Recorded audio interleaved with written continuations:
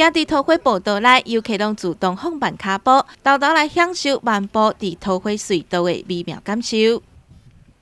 很漂亮欸，漂亮啊！桃花 就是觉得这样树枝往上就是很昂首这样子，很漂亮，好漂亮哦！新义乡草背头的山樱甲八重樱花期即将结束，马上得开放的桃花甲香水之夜富士樱，现在已经将草背头地区装扮甲充满粉红色的浪漫场景。真侪民众是真不住，就直接坐点桃花树卡，拿欣赏美景，拿野餐。好美哦！这照相好漂亮哦！太好了，难得花盛开的时候可以来参观，太好了。哇，现在哈，我们园区哈看得到的哈。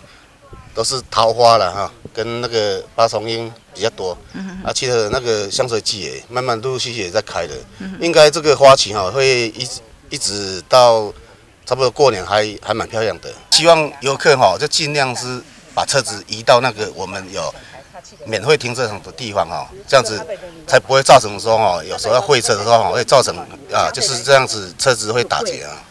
从呃十九号开始哈，我们就陆呃连续有。四呃五天都有接驳车这样子来看樱花的。对啊，来看樱花的。那你知道这是什么花吗？这个八八重樱。不是，这是桃花。啊，这是桃花。这是桃花，这不是樱花。是啊。但其实看到粉红色的桃花盛开，真侪游客都叫是樱花。伫遮当地农民也特别来教导民众如何来辨别桃花甲樱花撇步。哦，首先咱看到这是樱花，哦，伊樱花有一支柄，长长往下垂。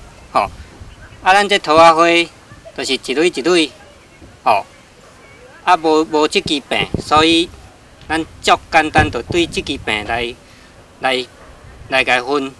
新义乡草北头地区的桃花订婚人啊，是樱花已经到达盛开，浪漫的气氛相当适合男女朋友来遮过情人节，留下美丽纪念。婚人啊是花海，预计将会当维持到旧的过年了，民众会当把握时间前来行村。记者金木山采访报道。